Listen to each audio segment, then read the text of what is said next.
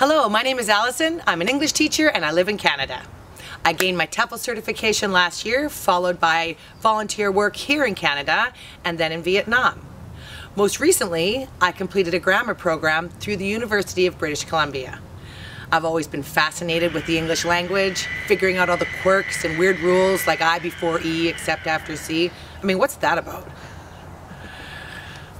I also speak basic Spanish and have spent many years in Mexico. So if Spanish is your first language, I may be the perfect teacher for you.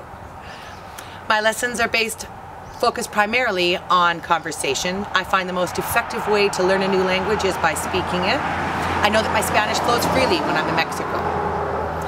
Of course, grammar and vocabulary play a big part as well. It's really about finding what works best for you, which method works best for you, and building on it. That and practice. I have a wide range of interests. I love to travel to different countries, meet new people, and experience new cultures.